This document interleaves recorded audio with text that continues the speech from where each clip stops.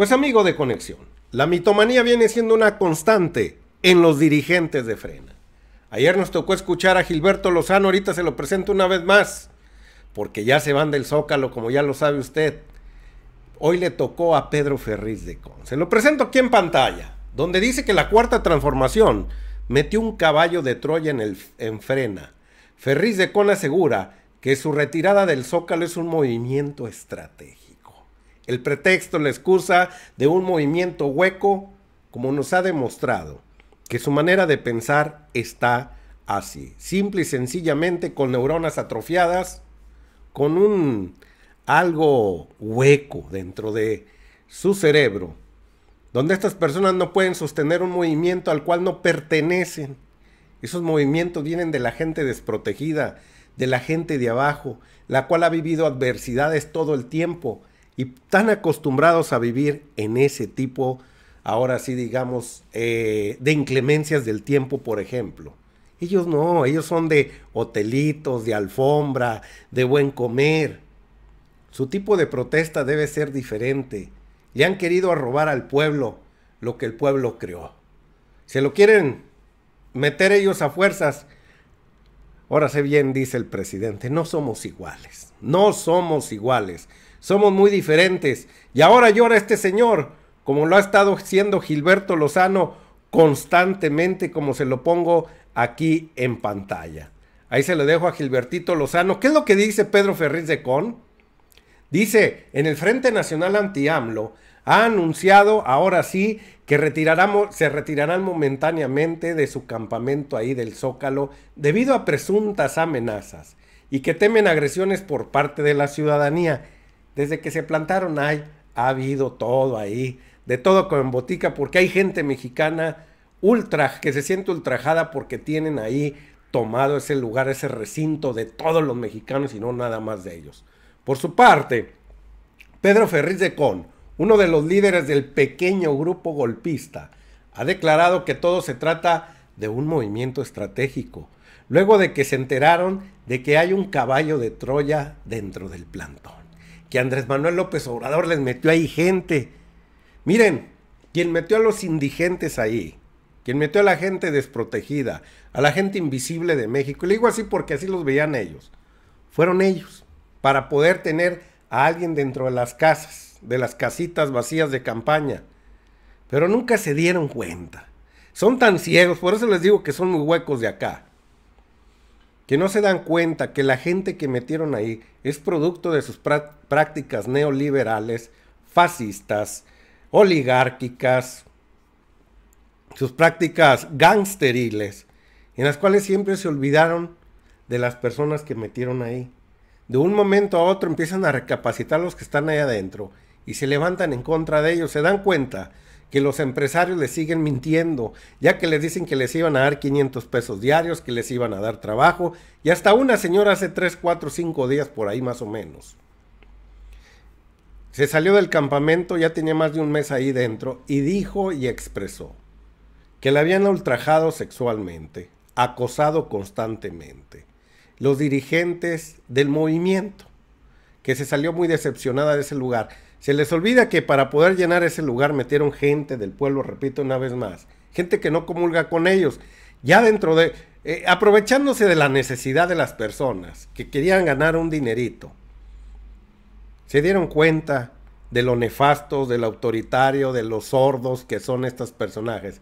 Y empezaron a migrar. No hay caballo de Troya, el caballo de Troya lo metieron ustedes mismos, señor Pedro Ferriz de Con. En opinión de algunos, el campamento ha sido disuelto debido a que los empresarios, detrás de Frena, se niegan a seguir pagando dádivas a los que pasan la noche en casas de campaña. Ya se cansaron, ya se dieron cuenta que en vez de servir con un fin golpista contra Andrés Manuel, se han dado cuenta que lo único que ha salido es lo contrario, la burla de los mexicanos constantemente en ese lugar. Le voy a poner aquí en pantalla, amigo de conexión, cómo en realidad se expresó Pedro Ferriz de Con hace un momento. Ahí está su tweet.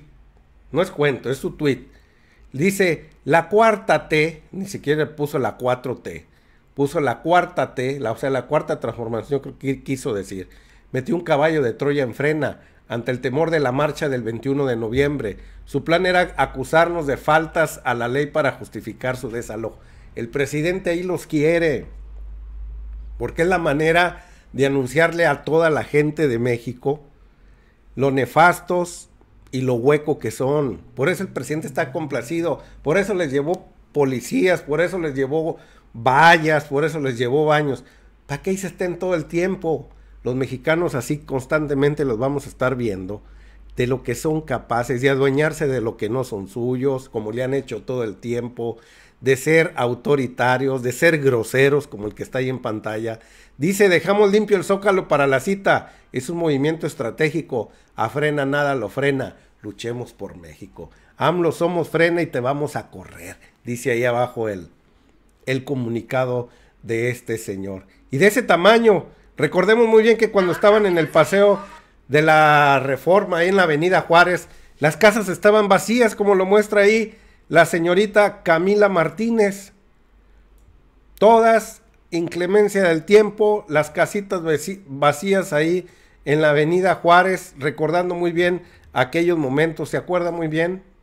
Y así estuvieron en el Zócalo, también estuvieron volando una tras otra, como le voy a mostrar aquí en pantalla, como Radio Búfalo nos regala este video.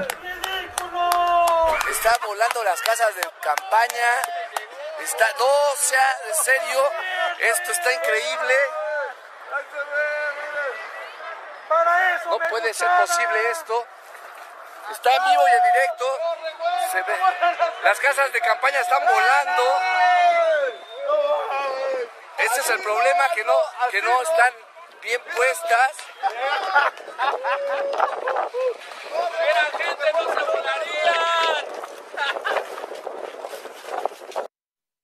Bueno, amigo de conexión, de esa manera pasaron tantas situaciones adversas en ese lugar, al grado de que, pues así todo volaba, todo estaba hueco en ese lugar. Vamos a escuchar a Gilberto Lozano.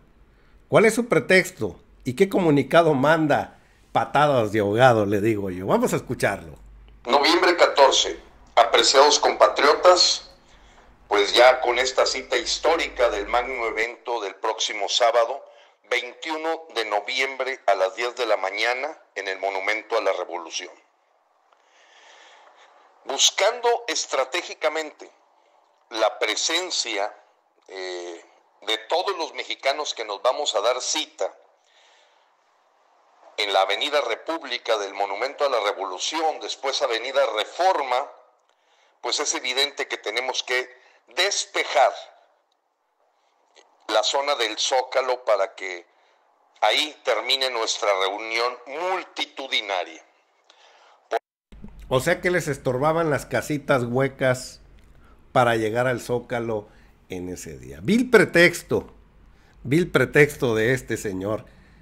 Vamos a seguirlo escuchando. Por tal motivo, durante este fin de semana, quitaremos el campamento por la justicia y la libertad, sabiendo también, por información de inteligencia, que el gobierno de la Ciudad de México y del gobierno federal buscan crear un conato de violencia que pueda convertirse en una nota que disuada a los mexicanos de acercarse al Mientes con todos tus dientes porque el presidente de la República no es violento. No lo ha demostrado que cuando ustedes, feministas y otro tipo de organizaciones, se han comportado como tal, nunca se les ha reprimido. Cosa contraria que cuando a Ratita Política y a Oscar Onofre, a ellos sí los reprimieron. Gente que apoya la cuarta transformación, pero a ustedes no se les ha tocado ni con el pétalo de una rosa. ¿Quieren mentirle a la gente? Creo que es por eso que ya no están en el poder, porque son una bola de mentirosos, son una bola de holgazanes, ampones, los cuales a través de tantas raterías jamás te hemos escuchado que estés indignado con lo que hizo Felipe Calderón en su sexenio, con lo que hizo Peña Nieto, con lo que hizo Fox, con lo que hizo Salinas. No te hemos escuchado nada de eso, que de veras te indignes con el robo y con el saqueo de este país. Vamos a seguir escuchando este sinvergüenza. El próximo 21 de noviembre. Por tal motivo, a partir de lunes nos deslindamos como frena de cualquier persona que por capricho desee mantenerse ahí con una casa de campaña. Eso ya no tiene nada que ver con frena, puesto que además todos los servicios serán cancelados. Eso sí, apoyando a la gente foránea económicamente para pernoctar en hostales y sus alimentos hasta el 21 de noviembre. Noviembre 14. Ya lo escuchó usted ahí. Pues ¿quién va a querer estar ahí sin paga? Porque de la única manera que estaban ahí, pagándoles, nada más. Nadie estaba por convicción, tenían gente contratada, hasta gente muy violenta en ese lugar, que había que llamar mucho la atención porque en una ocasión provocaron los youtubers para ver de qué manera se defendían y al defenderse sacaron gases lacrimógenos, sacaron extinguidores de, fuego, extintores de fuego, perdón, y también traían chicharras que les empezaron a aventar electricidad desde cierta distancia.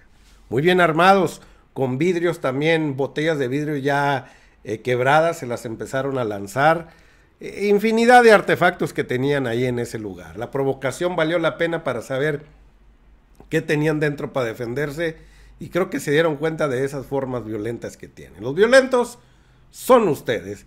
El señor, eh, como lo vimos aquí en pantalla, el señor eh, Pedro Ferriz de Con, lo único que nos toca decirte que son las patadas de ahogado de un movimiento que nunca fructiferó. Nunca te vimos ahí como dirigente de frena que lo eres.